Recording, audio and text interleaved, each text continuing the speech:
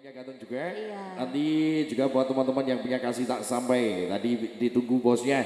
Ini gini kau di wisu mas. Kau di wisu mau. Oke, yuk soal persembahan ada lintangan sport kita mainkan bersama. Astina Rebon. Uh. Yanto boleh merapat.